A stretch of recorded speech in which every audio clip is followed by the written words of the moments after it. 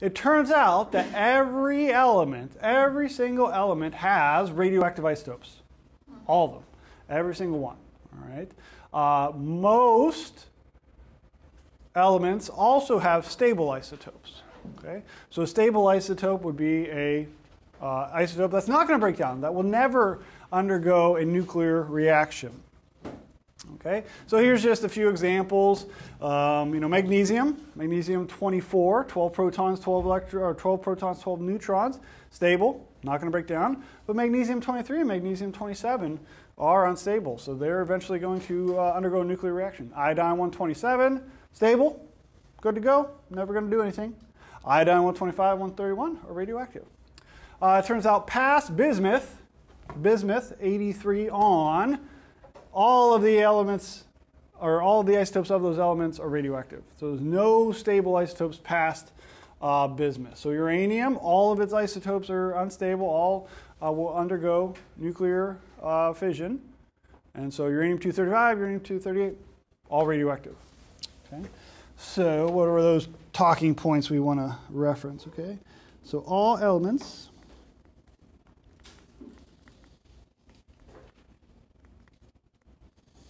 have radioactive isotopes.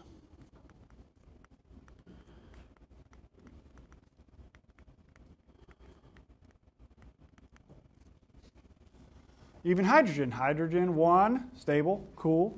Hydrogen 2, nicknamed deuterium because it has two, uh, a proton and a neutron, stable, cool.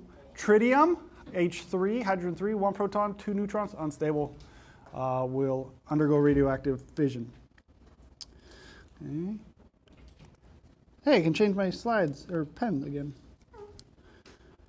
All right. Uh, elements past bismuth.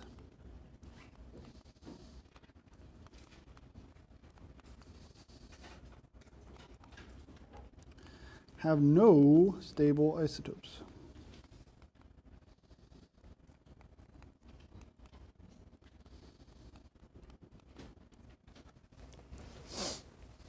Carbon. Carbon is another element that has, of course, some stable and radioactive isotopes. So most of the carbon in your body is carbon 12, about 99%, almost 99% of the carbon in your body is carbon 12.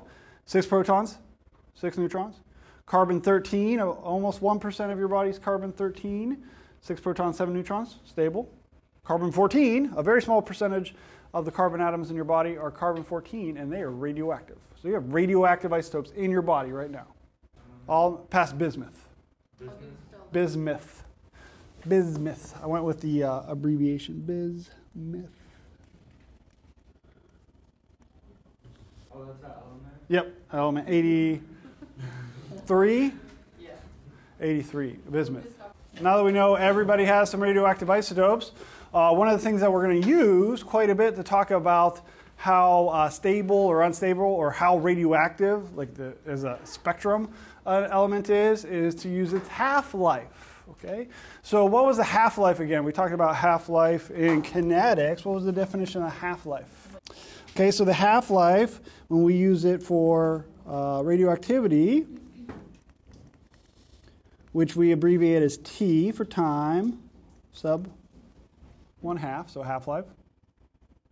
In kinetics, we just said it was the amount of time it takes for half of the reactant molecules to react. Uh, in nuclear chemistry, we can amend that just a little bit. It's still the same concept. We, we would say the amount of time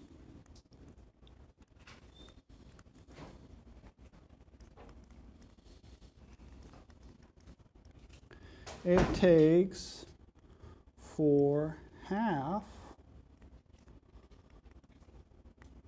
of the radioactive isotopes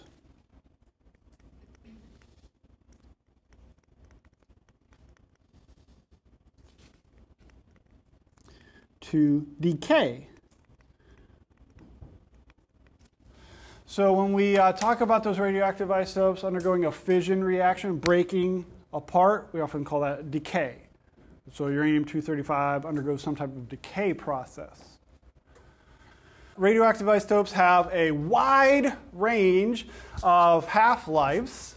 okay, or half-life times. The ones in this, you know, I don't know where I got this um, image. The ones in purple have half-lives less than a minute, some down to like milliseconds, okay? Whereas, you know, radioactive isotopes like uranium, uranium and thorium's uh, radioactive isotopes, all the not all the isotopes, many of the isotopes have half-lives in the terms of millions of years and billions of years, and that's why they can be used to figure out how old dinosaurs are and things like that. And so there's a wide range of half-lives in the time, um, but what does that say about the stability? Okay. We can use the half-life to determine or to figure out how stable or, or not a isotope is. So do you think something is more stable with a long half-life or a short half-life?